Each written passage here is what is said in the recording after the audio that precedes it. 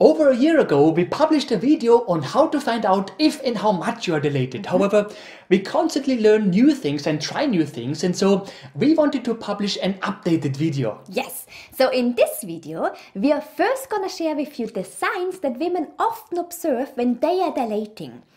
Then we are going to discuss the purple line which some women develop and which could give you a rough idea if and how much you are dilated. Plus, we are also going to share with you what we have learned over the past year about its accuracy. Yes, and then we're also going to share with you another method which we did not discuss in our last video. And that method can tell you quite reliably how much you are dilated if you do it the right way. Right. This is Nathalie, a pregnancy and birth consultant and TCM therapist. And that's Mathias, a researcher and science geek, and we help mummies naturally and science-based. So, are you ready to find out if your cervix is dilating? Okay, so first of all, what does it feel and look like when your cervix is dilating? well, the first cervix dilation sign are lightning crotches. And they are basically a sharp or shooting pain which a woman may feel in her pelvis, in her rectum or in her vagina. Mm -hmm. Right now, technically, if you feel lightning crotches, it is not your cervix that you're feeling. Instead, they can occur when baby's head descends so deep into your pelvis that it puts pressure on ligaments and nerves. Yes.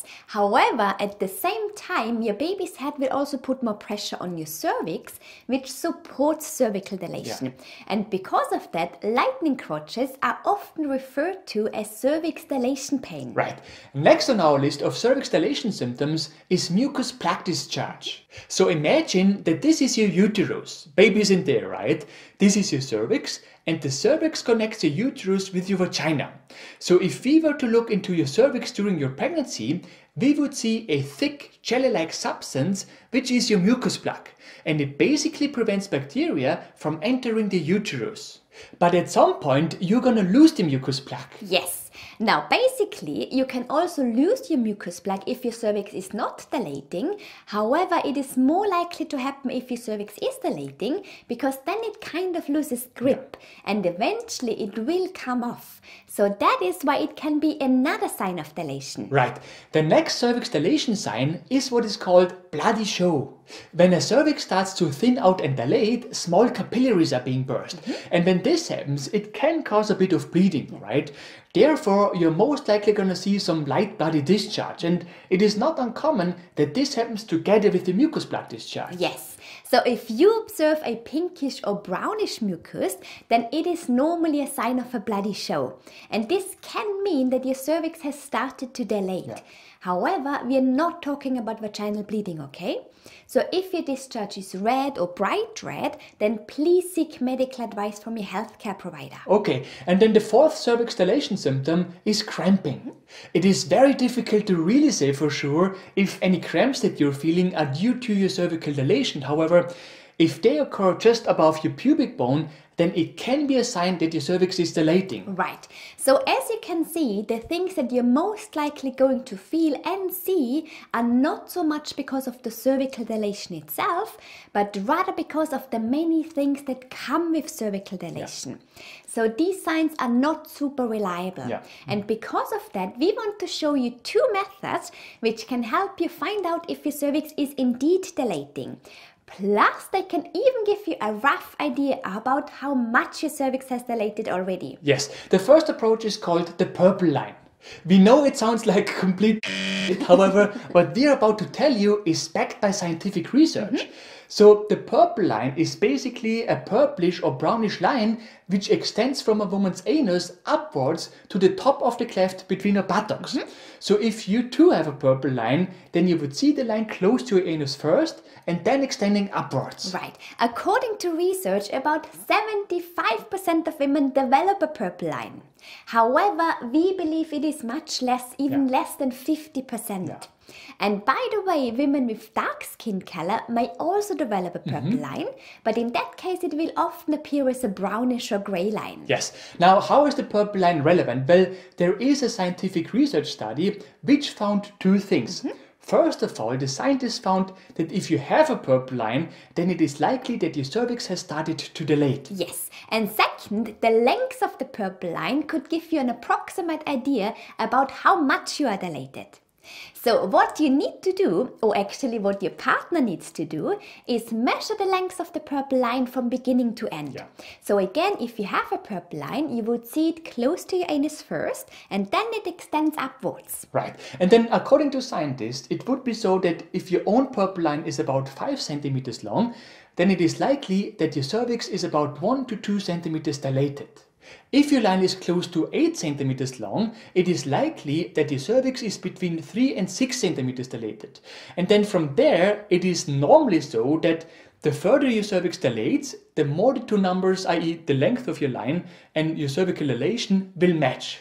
And just that you know, you can also find this table in the description below this video with more information about the purple line. Mm-hmm. So, how accurate is this method? Well, surprisingly, it can be quite accurate as we have learned, particularly from all those women who sent us emails after we published our first video about the purple line. Yeah. However, we are not gonna lie to you. For some women, this method will not be accurate at all. For example, it seems that some women develop a very long purple line, although they are hardly dilated. So please do not fully rely on the purple line as a means of finding out how much you are dilated. Yes, of course, the only really reliable method is a cervical exam done by a professional, which, however, most women don't really feel comfortable with, mm-hmm. right? But here's the good news you can also check your cervical dilation yourself in the comfort of your own home. And this is the second method that we want to show you now. Yes, it may feel strange when you do this the very first time. However, as you get familiar with yourself down there, things are gonna be much easier. Just keep in mind that there are circumstances under which you should not do this. Yes, most importantly, please don't check your cervix yourself when your water is broken, when you have cervical stitches, or when your provider has advised against it. Right, so here is how to do it. First of all, you have to make sure that your fingers are clean and sterilized. In fact, you're going to need a hand sanitizer that contains at least 60% alcohol. Yes, you obviously want to prevent bacteria from entering your vagina, mm-hmm. right? And you should also cut your nails so that you don't hurt yourself down there, Right. right? Next, you have to find a comfortable position. The easiest position is probably sitting in a chair with one leg elevated on the table. However, it is also possible to do this in a squatting position. Mm-hmm. Just keep in mind that it can obviously be very difficult to remain in a squatting position for a longer period of time, so sitting might be the better option. Right. And then you will need to push your index and middle finger into your vagina as far as possible so that you can reach your cervix. Obviously, you can use a water based pH neutral lubricant if required. And then just try and feel your cervix. Now, please keep in mind that your cervix does not appear as a tube that you can hold on to, as many people believe. Instead, there is going to be a little opening at the center, and the question is how big is that opening? You're considered 1 centimeter dilated if you can fit one fingertip and 2 centimeters if you can fit two fingertips. Although it obviously depends a little bit on the size of your fingers too. Right. And then if it is more, you can spread your fingers and see how far apart they go and then measure that distance. Yes, by the way, you don't need to stick your fingers all the way up your cervix, right? Fingertips will do.